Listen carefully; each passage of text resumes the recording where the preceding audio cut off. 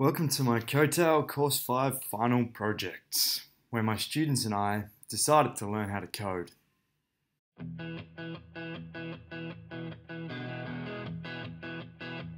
Well, we are making a game on Scratch using our coding. My aim was to have students learn some basic code so that they could create a simple animation or game to share their learning. I didn't know much about coding before we began the project. I had learned about HTML during Learning 2 a couple of years ago and I'd found it useful when I was blogging. I hadn't taken the time to pursue coding any further than that. I introduced my students to coding during the Hour of Code event last December, and due to their clear interest in the subject, I was keen to pursue it further. So I did what every teacher does, and I turned to the experts, my students, and my digital learning coach Ivan Beekmans to help get me started. They threw around names like Python and Java and Ruby and Minecraft, and it was all a little intimidating. The math unit we were working on at the time was based on the statement of inquiry relationships between numbers are the key to understanding our world, and it contained a debatable question what happens when mathematicians are unsuccessful? I figured that coding would provide an ideal platform to explore this question. I hoped my students could see how new theories grow from previous failures and the power of collaboration in developing these new understandings. I saw coding as a way to practice effective skills like persistence and patience and hoped it would strengthen their resilience. The unit began with an inquiry into the origin of number systems and how this has evolved to the binary language used by computers today. We used lessons provided by Code by Math to learn how a computer can be programmed. The students first learnt how to input commands that have the computer complete their calculations for them. And then they extended this to using the mod operator and conditional if-then statements to search for prime numbers. I found that the students became frustrated with the accuracy required when programming on Code by Math, and they weren't really sure where it was all heading. Truth be told, neither was I. They needed a context as a way to apply their learning. I had started floundering, so I turned to the Coetail community who led me to MIT's Scratch program. I had the students explore projects created by others as a way to see what Scratch was capable of. They then completed the Introduction to Scratch course and they were away. The students really enjoyed Scratch's user-friendly interface and I was impressed by how quickly they picked up the language and began to create an animation or game of their own. I could see how creating programs pushed students' problem-solving skills and challenged their creativity as they tried to integrate their understanding of number with their new digital literacy skills. Students rapidly engaged in creating, sharing, playing, and remixing others' games.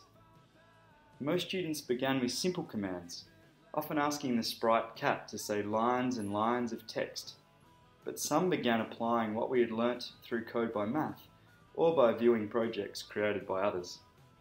They started teaching each other how to add variables, if-then statements, random numbers and lists to enhance their games. We have to be accurate with our coding to be able to not make any errors. While we are making the scratch game, scratch game, we have to drag the little tabs into the creating space.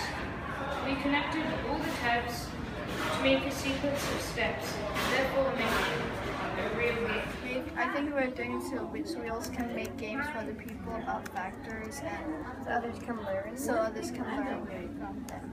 Can you But see it's hard when they're not working. It's gonna be six again. No, Okay, it's not. picnic. what you do when something doesn't work? You flip out on your computer. No. review on like what I've done in the past, and I kind of re- like look at the part that was not working correctly. I go back and look at it, and like sometimes what I'll do is I'll forget to add one prime factor or something like that. So I'll go back, work it out, make sure I've got everything correct, Yep. then verify sometimes with a friend. You see how that skill can be directly transferred from what you're doing with that to what we do in class all the time? That's, that's probably the main why I think now, thinking about it, the why we're doing this. To determine the success of the project and my students' previous learning about remix culture and copyright, I had them complete an anonymous survey. As you can see, the overall response about the experience was positive, and it inspired me to look for further options to incorporate coding opportunities into the curriculum. While these projects may not have created opportunities that were previously inconceivable, after all, learning to program at school is nothing new. It has redefined sharing and collaboration in my classroom and would not have been possible without the use of this technology. Based on the interest from students, my teaching partners in the year level have since introduced coding to their classes as well. Like we have to have such a good understanding. Yeah, show our that we can show others, so we really have to know like about it. Do you, do you think it's worth the extra time and effort? No, it would have been e- better if we just made a poster or like like you said because it's like an easy way to like just put it down on paper instead of trying to fi- learn first how you make the game and then if it doesn't work then like fixing. But I, I, I disagree. All right, uh, what do you two think? It helps us like be more creative. Plus, I haven't done this ever. And Especially it, it helps math. us look at So you can have a growth mindset because you challenge yourself. You challenge yourself um, to make a game, and you learn how to find out new ways to like code. What skills are you developing, do you think? developing skills that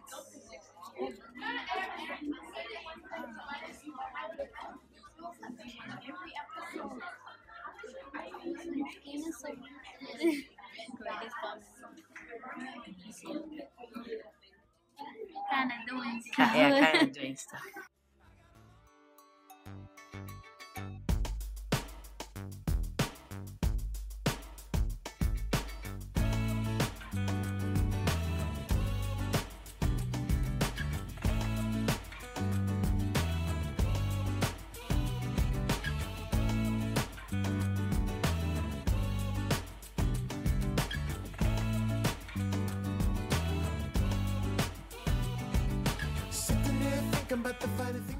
Um, what advice would you give someone who's first trying coding? Well, I would tell them to actually know the rules, practice before you actually start making a game. Practice with these um, different websites. And then after that, I would tell them to double check everything that they've done. Like either double check what they've learned or double check what they've created if they created a game like that. Like ours, and check if there are any errors. Keep on trying.